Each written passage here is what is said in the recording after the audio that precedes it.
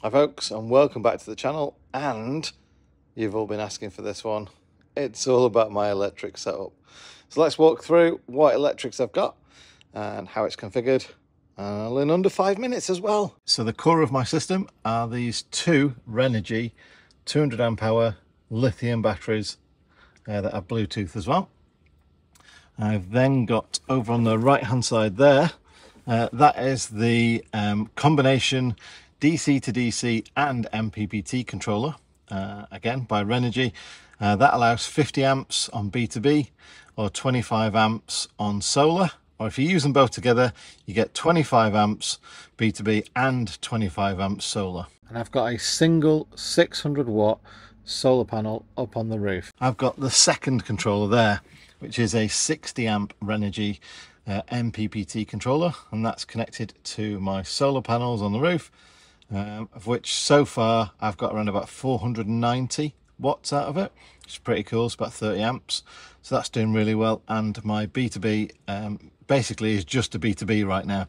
I am going to connect some tails on there that allow me to connect up my uh, portable solar panel uh, which I'm going to try and use as a um, sort of a canopy uh, at the side of the van. I've got two bus bars there and there for the negative and positive so all the negative charges and loads go through those bus bars. So each battery has its own connection to the bus bar and each charger has its own connection to the bus bar. Incoming connection to the uh, B2B goes straight to my starter battery under the seat over there, brought through as a uh, 35 mil cable. Um, and then it's grounded on the chassis, uh, which is actually just behind there, and that ground goes to the ground bus bar. I've then got obviously my distribution fuse box for all the low power items.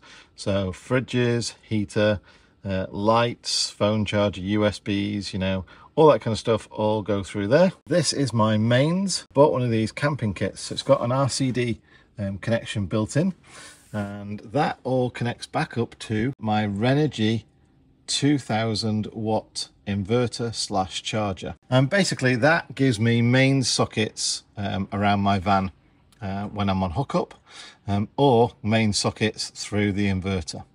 And if the inverter does have a mains hookup through there uh, then it will start charging my two batteries with 75 amps of charge. So they both get like 30 odd amps.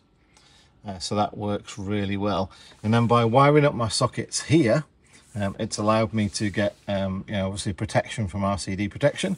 Um, plus it means I've got another socket in my boot as well. I've got a nice light on there that tells me whether it's on or off. Um, and I do have a remote control switch for the inverter to switch it on and off. Um, the inverter powers things like um, air fryer kettle toaster induction hob frying electric frying pans and everything we've got everything's got its own breaker so each battery's got its own breaker. As you can see over the back there the solar's got its own breaker and right at the top there and the b2b's got its own breaker.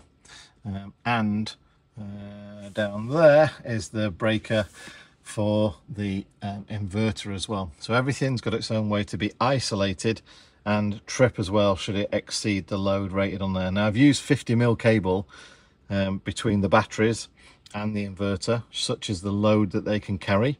Um, 200 amp hour discharge load for those. And that is just to make sure that they've got enough load capacity for anything that I draw through the inverter and also um, anything that I want to charge back up or anything like that Having everything Renogy based and Bluetooth capabilities allows me to monitor everything through the Renogy app as well. So I can see incoming solar charges, DC charges, the state of each battery's charge, the loads I'm carrying, plus historical information too. Right, so I think I did that in just about under five minutes. So that is my five minute electrical tour. If you've got any further questions about it, um, obviously ask in the comments section down below. Um, and I'll try to link all the items in the video description as well. So you can go and find those. Uh, there will be affiliate links. So if you do buy them, I shall be paid a little bit of commission from Amazon or eBay. So thank you if you do buy them. And uh, yeah, I shall catch you next time on a five minute Friday. Bye.